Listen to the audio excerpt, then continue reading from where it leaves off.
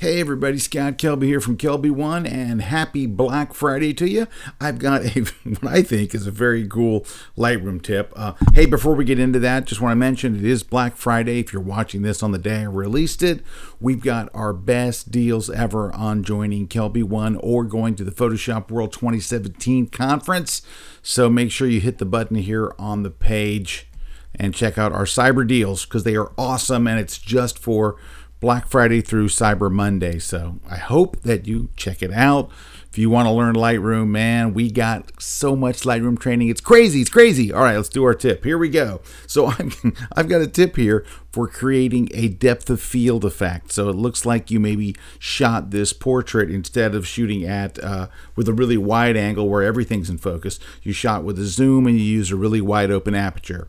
So here's how we're going to do that. It's kind of a cool trick. We're going to get the uh, the gradient graduated filter tool, whatever you want to call it. We're going to take our clarity down to minus 100 and our sharpness down to minus 100. That's going to give us a little bit of a blur effect. It's not going to give us enough, but it's going to get us started. So here we go. Everything's zeroed out. Clarity minus 100, sharpness minus 100.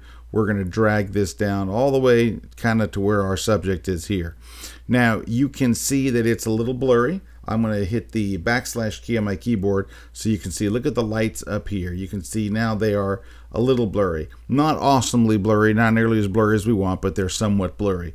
Now I'm going to press the letter O and you can see where our mask is. And you can see that our mask, actually just pull this down a little further, goes over our subject here. So we're going to click on the brush over here. We are going to click on erase, or you can just hold the option key on Mac or the alt key on Windows. We're going to erase over him. We don't actually want him or the seats next to him to actually be out of focus, right? So we're going to clear all that out. So everything's going to be out of focus like basically up there. Now let's hit the letter O again to turn off that mask. Okay, so here's the trick really basically is this. We have a little bit of blur back there. Again, there it is, just a tiny bit of blur just over that area. You're going to right click right on the point and choose duplicate. It's going to make another of the exact same thing with a little hole cut out and everything. We're going to hit duplicate and watch, look how blurry it is back there now. Now it's getting pretty blurry. We're going to right click again and choose duplicate.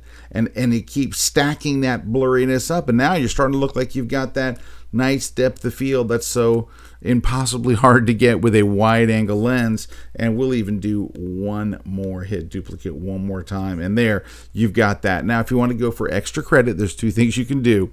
Uh, let's go ahead and this time grab the tool, hit new all right, so it's the same settings, but we're going to drag from the bottom and just pop it right in here. So this is a little blurry right at the bottom. If you were really shooting this with a lens, you'd have blur up there and a little bit of blur down here. And you can see it's not a whole bunch, so let's duplicate it a couple of times. Duplicate and duplicate.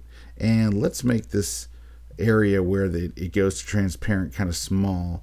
So now when I move my cursor, you can see it blurs the seats down here and it majorly blurs the top and the last thing you can do is this. Uh, this was shot with a wide angle lens. I believe it was a 16 millimeter. And that's not a really super flattering lens for people, especially if they're not dead in the center and he's off center over here. So it's a little distorting him. So here's what we do to get around that. Let's just scroll down to the lens panel here. Let's close the brush Let's close the graduated filter, I mean. Let's go to the lens correction, actually go right to transform. And there's a slider called aspect. And what aspect does is it either, I'll show you, either shrinks up the picture or stretches it out. We're going to shrink it up just a little bit so he looks a little, doesn't look quite so distorted. And that will require, require us to recrop the image. So I'm going to click constrain crop and it automatically fixes it. So let's look at the before and after. You can see it was a little wide and kind of stretched. This looks more realistic. Plus you get the out of focus background and the whole nine yards. All right, guys, thanks for letting me share this tip with you. Thank you for coming to Lightroom Killer Tips. And of course, I hoping I am hoping that while you're here, you'll take advantage of our best deal of the year to join Kelby One. It's $50 off if you want to join. It's the best price that we offer all year long. We never offer 50 bucks off. This is the best deal. And also, if you want to go to Photoshop World, the big conference uh, in Orlando, Florida in April, I believe it's April 20th, 22nd at the Orange County Convention Center.